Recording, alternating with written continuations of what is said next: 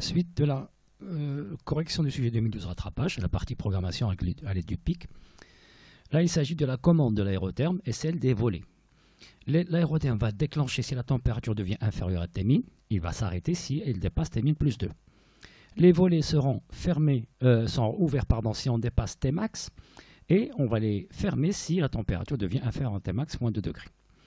Donc, sinon, entre les deux, entre T-min plus 2 et Tmax moins 2, l'aérotherme est à l'arrêt et les volets sont fermés, c'est l'état de repos. C'est ce qui se traduit par euh, l'organigramme suivant.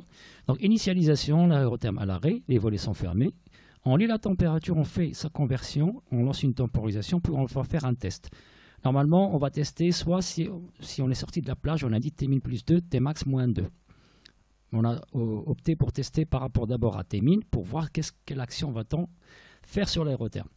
Alors, est-ce qu'on va tester ce qui est inférieur à T-min plus 2 Puis ensuite, on teste par rapport à T-min ou bien est-ce qu'elle est supérieure à T-min plus 2 Si elle est supérieure à T-min plus 2, dans ce cas-là, la température augmente. On va aller tester par rapport à T-max. Donc, ce qui veut dire que là, la réponse oui concerne le test est-ce qu'elle est inférieure à T-min plus 2 Dans ce cas-là, on va faire un deuxième test si elle est inférieure également aussi à T-min moins 2. Sinon, ça veut dire qu'on ne fait rien.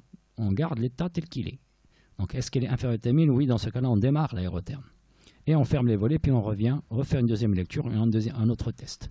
Maintenant, si la température n'est pas inférieure à T1000 plus 2, là, il s'agit de, euh, tester par rapport à Tmax et Tmax moins 2 pour voir quelle action va-t-on faire sur les volets. Premièrement, on ouvre les volets. On a dit tout à l'heure que si la température est supérieure à Tmax. Dans ce cas-là, la réponse oui veut dire ouvrir les volets en gardant toujours l'aérotherme fermé.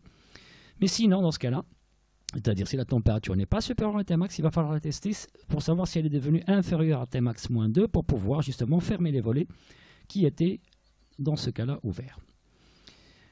La temporisation maintenant, on vous dit qu'on va faire une temporisation en utilisant trois cases, trois niveaux imbriqués, trois cases mémoire, compteur 3, compteur 2, compteur 1. En fait, il s'agit de, euh, de faire un comptage compteur 1. Quand il termine, on décrémente une fois le compteur 2.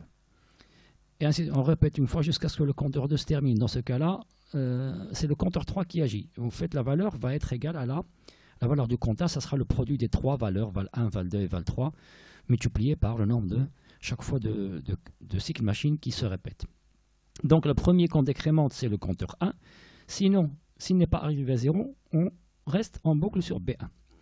Si il est arrivé à 0, on va sauter et venir décrémenter le compteur 2. Même chose, si le compteur 2 n'est pas égal à 0, on revient, on recharge la valeur 1 dans le compteur 1, c'est-à-dire on va aller vers B2 et refaire un deuxième comptage sur le compteur 1.